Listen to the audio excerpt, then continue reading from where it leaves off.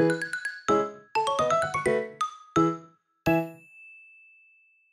さんこんにちは。スマユーチームの千里です。日本一周鉄道の株主優待の5回目です。これまで九州関西とやってきてここから運転手はひなのさんから私に交代します。全国の鉄道会社の中で上場している会社をピックアップして株主優待を調べてみようという企画です。今回は中部地方を見ていきます。2社が登場します。それでは出発進行。それでは1社目は名古屋鉄道さんです。通称名鉄ですね。愛知県岐阜県で運行している大手の私鉄です。特に愛知県は広くカバーされた路線網になっていますね。鉄道以外にもバスやタクシー不動産百貨店などさまざまな事業を展開しており中部地方を代表する企業グループでもあります。プレスリリースを見たら愛知県の岡崎市を拠点に活躍する人気 YouTuber の東海オンエアさんとコラボしたカモン岡崎キャンペーンという企画を10月の下旬から始められたそうです。株主優待の権利確定は3月と9月です。名鉄の乗車切符電車やバスの定期優待券セットなどが贈られます。優待券セットは名鉄百貨店のお買い物10%割引券やホテルの割引券。新穂高ロープウェイや駒ヶ岳ロープウェイの割引券。リトルワールド日本モンキーパーク南知多ビーチランドといったグループ施設の割引券などです。いろいろなものがありますね。中部地方を存分に楽しめそうです。こちらが保有株数に応じた優待内容の表です。まず200株以上の保有であれば3月の権利確定で切符4枚と優待券セットが獲得できます。600株以上からは3月と9月に切符が追加されます。8000株を超えると追加された切符は電車と名鉄バスに乗り放題のパスに変わります。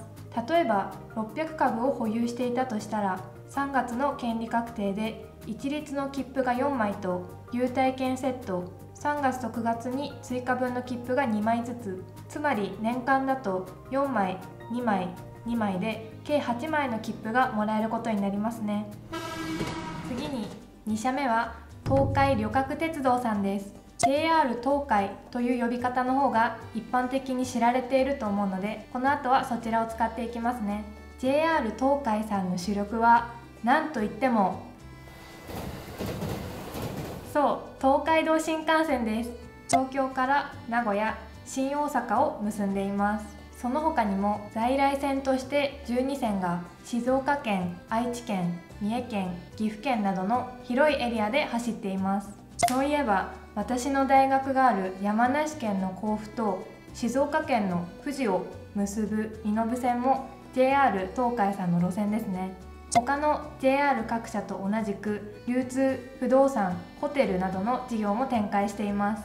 株主優待の権利確定は3月です。株主優待割引券が発行されます。こちらを使用すると JR 東海さんの路線の運賃と特急券やグリーン券などの片道の料金が割引になります。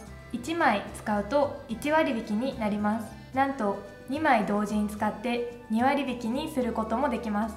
3枚はダメだそうです。在来線だけでなく新幹線も対象になります。出張などで東京名古屋新大阪を行き来する方にはありがたい優待ではないでしょうか。こちらは保有株数に応じた枚数の表です。100株以上から1000株未満までは100株ごとに1枚追加されていきます。1000株以上は200株超過ごとに1万株以上は300株ごとに追加されます。2万株以上は所定の枚数となります。優待券は欲しいのですが JR 東海さんは投資単価が高いのでちょっと私にはまだ手が出ないですね。でも2割引きで新幹線に乗れるってものすごくお得ですよね。ということで今回は中部地方で2社をご紹介しました。そういえば JR 東海さんといえばリニア中央新幹線の計画がニュースになりますよね。今回改めて確認してみました。東京の品川駅から名古屋駅を結ぶ路線が2027年に開業。その後名古屋駅から新大阪駅を結ぶ路線が2037年の開業を目指していたそうですが工事の遅れがあり開業時期は後ろ倒しになりそうということでした。リニア中央新幹線が開業すると経済の活性化につながりそうですよね。さて次回は関東地方に入っていきます。今回もご視聴ありがとうございました。是非チャンネル登録グッドボタンよろしくお願いします。また次回もいろいろ調べてきますので是非待っていてくださいね。